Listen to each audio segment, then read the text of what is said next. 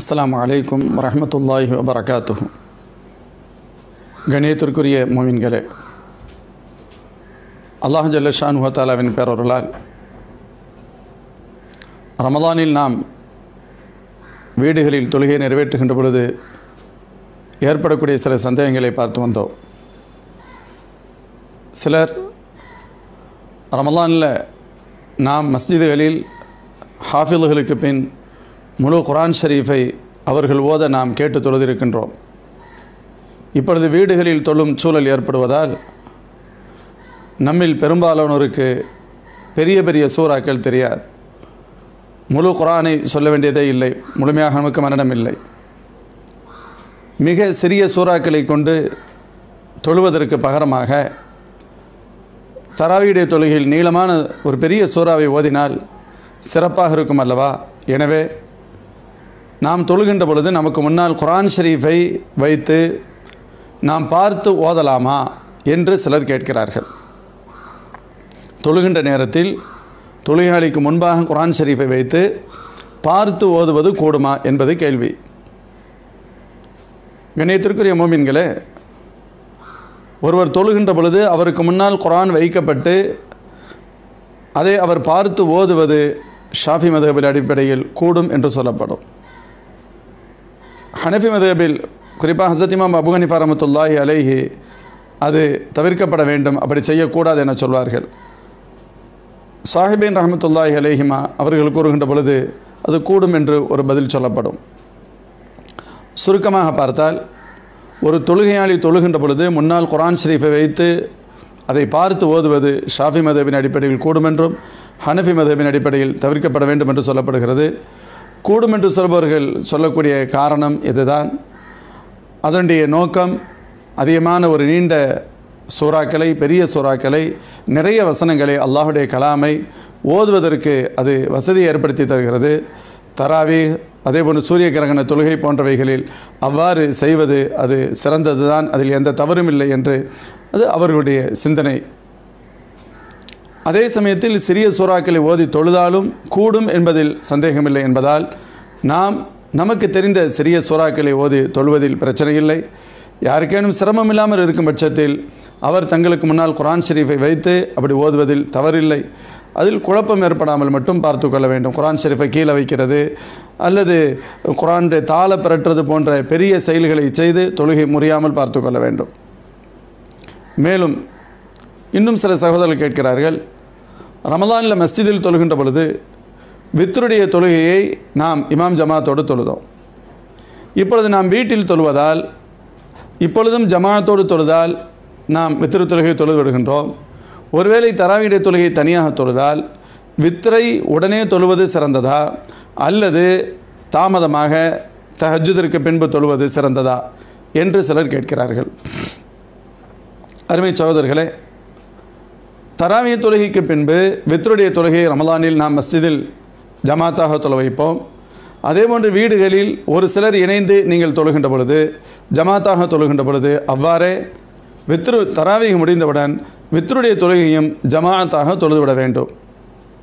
ஒருவேளை நீங்கள் ஜமாத்தாக தராவியுடைய தொழுகையை தொழவில்லையானால் தனித்தனியாகத்தான் தொழுகின்றோம் என்று வருமானால் இப்பொழுது வித்ருடைய தொழுகை உடனே தொழுவதா தாமதித்து தொழுவதா என்று கேட்டால் இதற்கான பதில் என்பது அது அவரவருடைய சூழ்நிலை சார்ந்தது. மற்ற நேரத்தில் என்ன சட்டமோ மற்ற ரமதான் அல்லாத காலத்தில் என்ன சட்டமோ அதே சட்டம் இங்கும் வரும். நீங்கள் கண்டிப்பாக தஹஜுடைய தொழுகைக்கு எழுந்திருப்பீர்கள். அவ் அப்பொழுது நாம் தஹஜுது முடித்துவிட்டு தொழுகலாம் என்று நீங்கள் கருதும் பட்சத்தில் அதில் உங்களுக்கு உறுதி ஏற்படும் பட்சத்தில் நீங்கள் வித்தருடைய தொழுகையை தாமதப்படுத்துவதில் தவறில்லை. அல்லது நாம் எழுந்திருப்போமா இல்லையா என்ற சந்தேகம் ஏற்படுகிறது என்ற நிலை ஏற்படுமானால் அவர்கள் வித்தருடைய தொழுகையை உடனே தொழுது விடுவது தான் ஏற்றமானது. அல்லாஹின் திருத்துதர் சல்லல்லாசனுடைய வழிகாட்டுதலும் அதுவாகவே இருக்கிறது. யார் யாருக்கு இது அவர்களுடைய சூழ்நிலை சார்ந்தது என்று சொல்லப்படும். ஹசரத் அபுஹரேரா ரதியுல்லான்களுக்கு சொல்லலான்னு சொல்வார்கள் அபுஹரேரா நீங்கள் ஆரம்ப நேரத்திலேயே வித்திரை தொழுது கொள்ளுங்கள் என்று சொல்லியிருக்கிறார்கள். ஒருமுறை அபுபக சித்திக் ரலியல்லான் அவரிடமும் உமர் ரலியல்லான்களிடமும் பெருமானார் சல்லல்லாசனம் பேசிக் கொண்டிருந்த பொழுது நீங்கள் வித்துடைய தொழுகை எப்படி தொழுகின்றீர்கள் என்று கேட்க அபுபக்கர் நாயகம் பதில் சொன்னார்கள் நான் இரவின் முற்பகுதியிலேயே தொழுது விடுகிறேன். அதாவது தூக்கருக்கு முன்பு என்பது பொருள். அசத் உமரலிகள் அல்லானு சொன்னார்கள் நான் இரவின் பிற்பகுதியில் தொழுகின்றேன். அதாவது தூங்கி எழுந்து தஹஜுதிற்கு பின்பு என்பது அதன் பொருள். பெருமானார் சல்லல்லாஹு செல்லம் வஸல்லம் அபூபக்கர் ரலியல்லாஹு அணுகு அவர்களை பார்த்து சொன்னார்கள் நீங்கள் பேணிதலின் அடிப்படையில் செயல்படுகின்றீர்கள் என சொன்னார்கள்.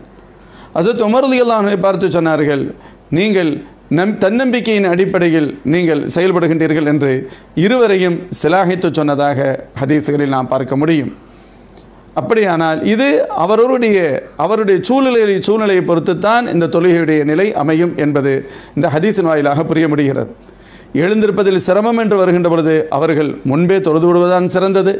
தாராளமாக எழுந்திருக்க முடியும் என்று நம்புபவர்கள் அவர்கள் தாமதமாக தொழுவது சிறந்தது. இதில் மாறுபட்ட கருத்தில்லை. அதே சமயத்தில் பொதுவாகவே என் பிரச்சனை எதற்கு நாம் முன்னாடியே தொழுது கொள்ளலாமா என்று கேட்டால் தாராளமாக முன்பே தொழுது கொள்ளலாம்.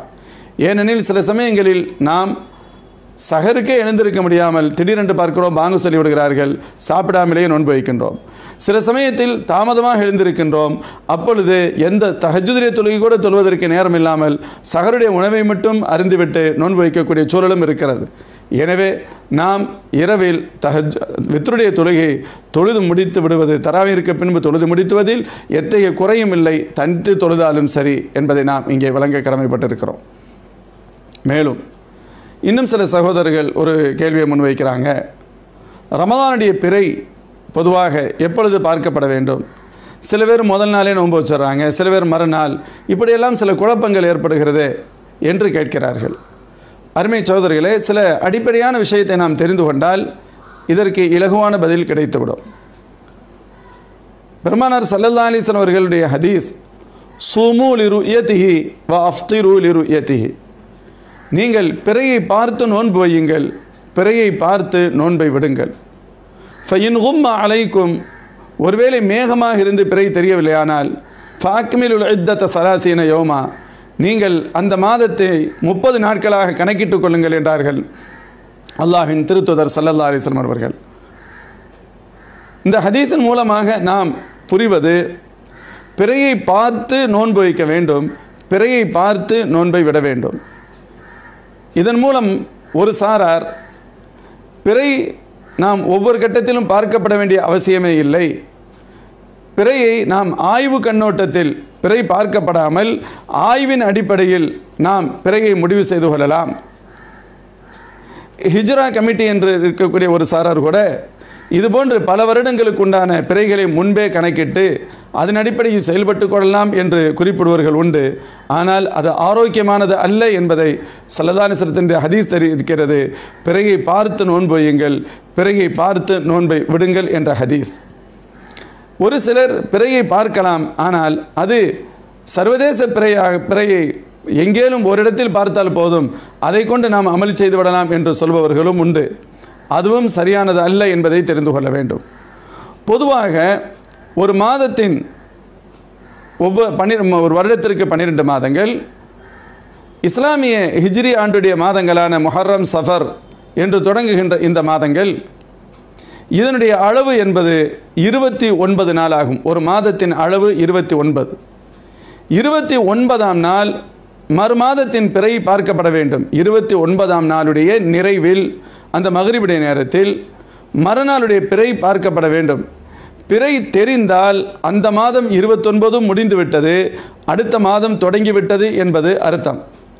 பிறை தெரியவில்லையானால் முந்திய மாதம் இருபத்தொன்பதோடு முடியாமல் அது முப்பதுனாவது நாளாக தொடர்கிறது என்பது அர்த்தம்.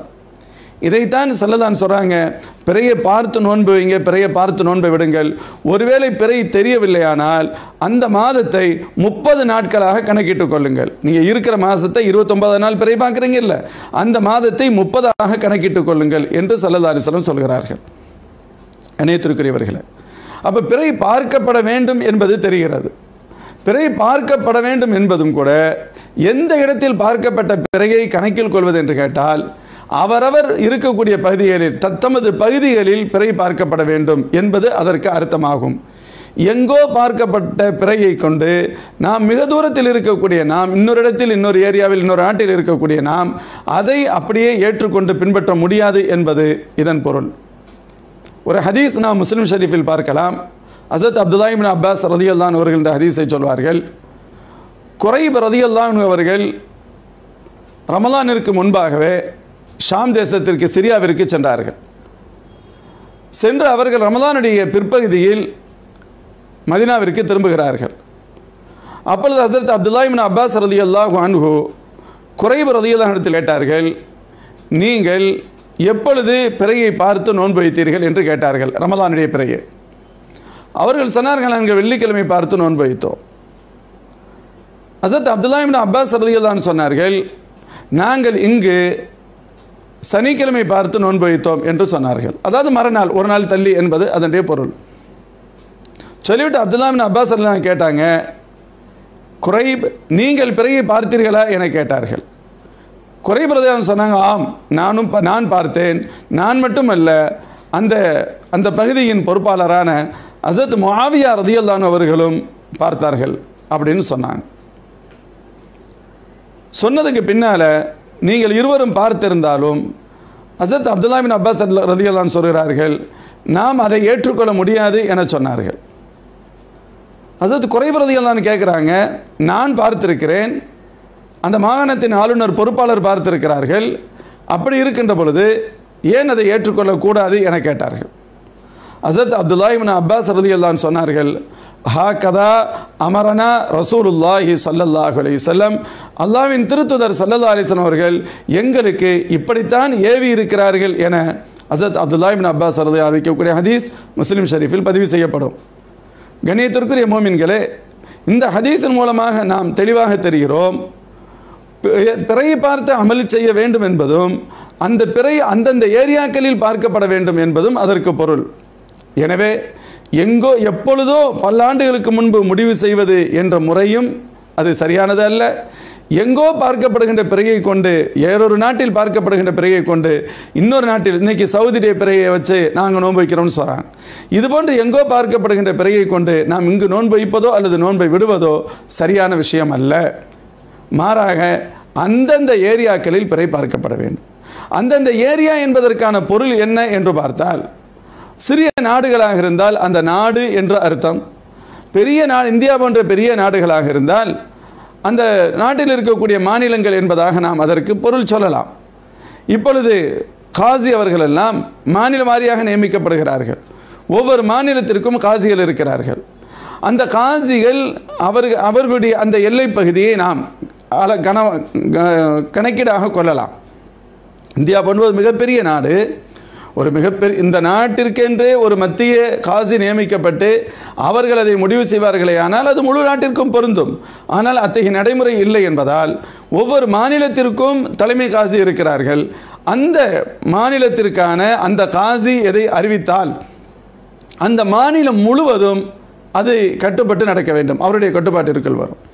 அப்போ ஒரு மாநிலத்தின் காசி அறிவிப்பது இந்தியா குறிப்பாக இந்தியா எடுத்துக்கொண்டால் நமது தமிழகத்தில் காசி அறிவிப்பார்களே ஆனால் அந்த அறிவிப்பை கொண்டு நாம் ரமலானுடைய நோன்பை நோற்போம். அல்லது அந்த அறிவிப்பை கொண்டு ரமலானுடைய நோன்பை முடித்து நாம் பெருநாள் பெருநாள் கொண்டாடுவோம். இதுதான் சட்டம். காசியுடைய அறிவிப்பிற்கு நாம் மாற்றம் செய்யக்கூடாது. பொதுவாக எங்கு பிறை பார்க்கப்பட்டாலும் இப்போ தமிழகத்தில் உதாரணத்திற்கு தமிழகத்தில் பல்வேறு பகுதியை நாம் பிறை பார்க்கிறோம் என்று வைத்துக் கொள்ளுங்கள். எங்கு பிறை பார்க்கப்படுகிறதோ அந்த மக்கள் அங்கிருக்கக்கூடிய லோக்கல் காசிகள் அல்லது மூத்த உலமாக்கள் அறிஞர் பெருமக்கள் ஆலிம்கள் அவர்களிடத்தில் அந்த தகவலை சொல்வதும் அவர்கள் அதை ஊர்ஜிதம் செய்து சென்னையில் இருக்கக்கூடிய தலைமை காசிக்கு அனுப்பி வைப்பதும் அவர்கள் சம்பந்தப்பட்ட நபரிடத்தில் சில கேள்விகளை கேட்டு ஐயங்களுக்கான தெளிவுகளை பெற்று ஊர்ஜிதம் செய்து அவர்கள் ஆம் என்றோ அல்லது இல்லை என்றோ அறிவிப்பார்கள். அவர்கள் பிறை பார்த்ததாக அறிவிப்பார்களே பார்க்கப்பட்டதாக அறிவித்தால் அதை அப்படியே முழு மாநிலம் ஏற்றுக்கொள்ள வேண்டும். அவர்கள் பிறை பார்க்கவில்லை என்று அறிவித்தால் அதையும் ஏற்றுக்கொள்ள வேண்டும். அதான் சட்டம். ஒரு காசி பிறை பார்க்கப்பட்டுருச்சு. நீங்கள் நோன்பு வைங்கன்னு சொன்னால் நாம் நோன்பு வைத்து விட வேண்டும். நம்ம ஒவ்வொருத்தரும் பார்க்கணுங்கிற கட்டாயம் இல்லை. அல்லது காலி அவர்கள் ரமலானுடைய பிறை முடிஞ்சு ஷபாலுடைய பிறை பார்க்கப்பட்டு விட்டது. நீங்கள் பெருநாளை கொண்டாடுங்கள் என்று காசி சொன்னால் நாம் பெருநாளை கொண்டாட வேண்டும். இல்லை நான் பார்க்கல. இருபத்தொன்பது நாள் தான் முடிஞ்சிருக்கு. நான் அதுக்கடுத்து மறுநாளும் நான் நோன்பு வைப்பேன் என்றெல்லாம் சொல்லக்கூடாது. எனவே பிறையுடைய விஷயத்தை பொறுத்தவரை அந்தந்த ஏரியாக்களில் பிறை பார்க்கப்பட வேண்டும். அந்த ஏரியா என்பது சிறிய நாடாக இருந்தால் அந்த நாடு என்ற அர்த்தம். பிரம்மாண்டமிக்க பெரிய நாடுகளாக இருந்தால் மாநிலங்கள் வைத்துக் கொள்ளலாம். நம்முடைய பகுதியை பொறுத்தவரை ஒவ்வொரு மாநிலத்திற்கும் தனிப்பட்ட முறையில் தலைமை காசிகள் இருப்பதால் அவர்கள் இருக்கக்கூடிய அந்த ஏரியாவை அந்த எல்லையை ஒரு எல்லையாக கணக்கிட்டு அந்த காசி சொல்வதை அடிப்படையாக கொண்டு பிறையுடைய விஷயத்தில் அந்த ஏரியாவுடைய பொறுப்பாளர் அவர்கள் என்பதை கவனத்தில் கொண்டு அவர்களுடைய தகவலுக்கிணங்க அறிவிப்பிற்கிணங்க நாம் செயல்பட வேண்டும். எனவே கண்ணியத்திற்குரிய அருமை சோதர்களே? இப்படி பிறையுடைய விஷயத்தில் நம்முடைய மனபோன போக்கில் நடக்காமல் எது மார்க்க நமக்கு அழகிய முறையை கற்றுத்தருகிறதோ அந்த முறையின் அடிப்படையில் நாம் பேணுதலாக நடந்து கொள்ள முயற்சிக்க வேண்டும். எல்லாம் அல்ல அல்லாஹல்ல ஷான் ஹத்தாலா நமக்கு உயர்வான கூலியை தருவானாக. அஸ்லாம் வலைக்கம் வரமத்துல்லாஹி வபரகாத்து